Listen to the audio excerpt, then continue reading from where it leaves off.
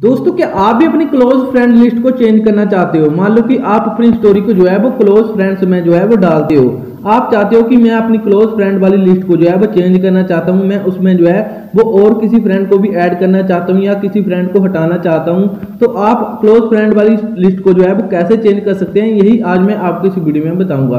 तो चलिए दोस्तों, ज़्यादा टाइम नहीं वेस्ट करते वीडियो को स्टार्ट करते हैं और आपको बताते हैं कि आप अपनी क्लोज फ्रेंड वाली लिस्ट को जो है वो कैसे चेंज कर सकते हैं। उसके लिए सबसे पहले आपको करना क्या होगा, सबसे पहले आपको जो है, वो अपनी प्रोफ़ाइल वाले आइकन पर क्लिक कर देना है। जैसे ही आप अपनी प्रोफ़ाइल वाले आइकन पर क्लिक कर दोगे उसके बाद में आपकी प्रोफ़ाइल जो है, यहाँ पर कुछ ऐसा आ जाएगा। उसके बाद में आपने जो है, वो ऊपर की तरफ़ आपको दिखेंगे थ्री डॉट तो आपने सिंपली से यहाँ पर करना है क्लिक उसके बाद में आपको यहाँ पर एक ऑप्शन देखने को मिलेगा क्लोज फ्रेंड्स तो आपने करना क्या है, आपने सिंपली से यहाँ पर कर देना है क्लिक जैसे ही आप क्लोज फ्रेंड्स पर क्लिक कर दोगे, उसके बाद में आपको जो है, यहाँ पर सभी के जो है, वो नाम बता दिए जाएँगे। जिन जिन फ्रेंड को जो है, वो आपने अपनी क्लोज फ्रेंड लिस्ट में जो है, वो डाला हुआ यहाँ पर जिन जिन के ऊपर जो है, वो टिक लगी है, ये जो है, वो मेरी क्लोज फ्रेंड वाली लिस्ट में जो है वो ऐड है, ये मेरी स्टोरी को जो है वो क्लोज फ्रेंड वाली स्टोरी को देख सकते हैं।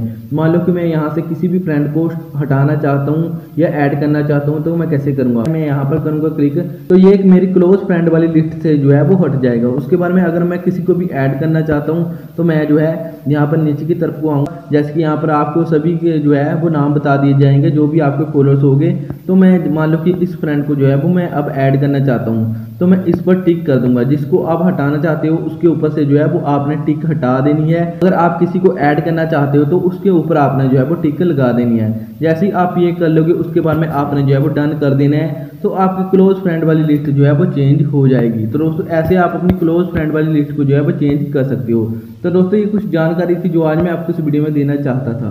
उम्मीद करता हूँ दोस्तों आपको मेरी इस वीडियो से कुछ नॉलेज मिली होगी। दोस्तों, अगर आपको मेरी इस वीडियो से कुछ भी नॉलेज मिली हो तो मेरी वीडियो को लाइक करना और मेरे चैनल को सब्सक्राइब करना मत भूलना।